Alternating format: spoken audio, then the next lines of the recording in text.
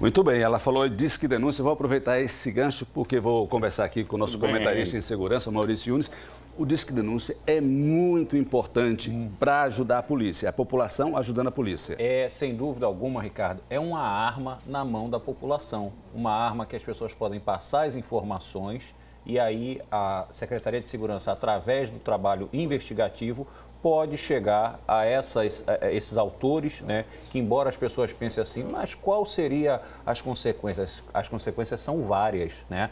Um acidente que poderia ocorrer, além do prejuízo financeiro que é causado também.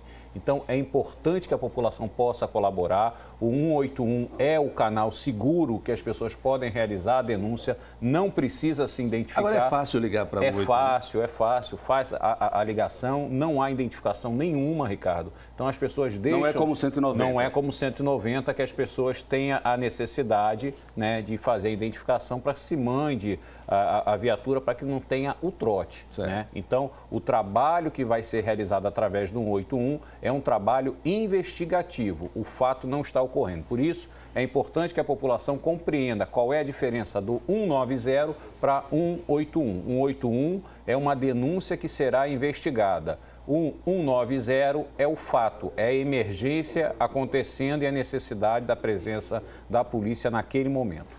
Coronel Maurício Nunes, nosso consultor em segurança pública, tem um outro assunto que eu vou mostrar daqui a pouco, logo depois do recado da SACEL. Foi um roubo de moto. A Polícia Militar já apreendeu e já recuperou a moto, mas eu quero que você analise a ação dos bandidos. Estamos de volta, 12 h Estou aqui com o nosso consultor em segurança pública, Maurício Nunes. Antes da imagem que eu vou mostrar do assalto, é, a moto foi recuperada, mas eu quero que você acompanhe a ação, até para ajudar a população. Vou chamar Samara Fagundes, é, Coronel Maurício Nunes. A gente já viu roubo de tudo, de moto, de carro, de veículo, de celular, de carteira, nos ônibus. Samara Fagundes, o que é que furtaram ou roubaram agora? Pois é, Ricardo. Dessa vez furtaram um container. Esse container só pode ser retirado com um caminhão, segundo os donos com quem eu entrei em contato para saber direitinho essa história. O container estava lá há cerca de 40 dias, mas aí o terreno foi vendido e o dono o antigo dono não sabe para onde foi, o novo dono do terreno também não sabe onde está, ou seja, foi furtado. Os donos dessa imobiliária, que é o que, o que funcionava nesse container, mas estava fechado há alguns dias, e eles foram então buscá-lo para realocar lá no município de Nossa Senhora do Socorro mas não mais encontraram este contêiner que estava lá no município de São Cristóvão, ali na rodovia João Bebiágua, a grande área ali do Rosa Elze. Então, não mais encontraram, estão oferecendo, inclusive, Ricardo, recompensa para quem tiver informações sobre onde foi né, guardado, escondido, é algo muito grande para estar tão escondido assim, não é, Ricardo? Esse contêiner. Então, tem os contatos aqui, que nós estamos mostrando. Liga se tiver informações sobre este container. A gente tem aí a imagem mostrada, divulgada pelos donos da imobiliária que estão aí procurando, porque é um meio de trabalho.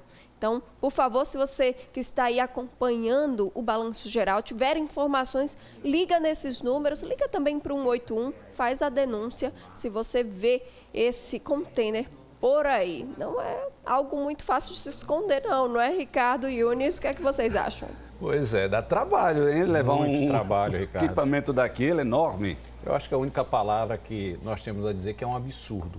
Né? Hum. Essa é a questão da insegurança vivida por todos, empresários, população. É uma triste realidade. Eu acho que a única palavra que se diria seria um absurdo a perda de um material como esse.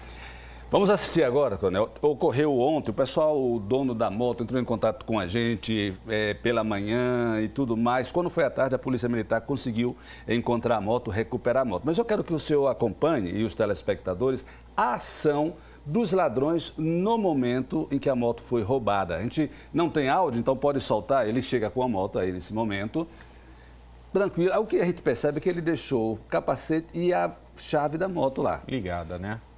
Aí a gente percebe dois passando para lá e para cá e parece que alguém dá um aviso para ele.